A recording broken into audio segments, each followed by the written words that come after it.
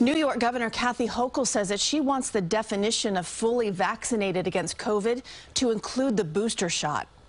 We're working on that, and there's the only reason we have to wait is that it's going to be a little bit tricky to work out the rules because some people aren't eligible to be have the uh, the booster shot yet. Governor Hochul said one example is healthcare workers who were mandated to receive their first dose of the COVID vaccine by the end of September. Those workers are not yet eligible for booster shots. Governor Hochul says that she does not see another shutdown in our future, saying that the booster and also wearing a mask will help fight Omicron.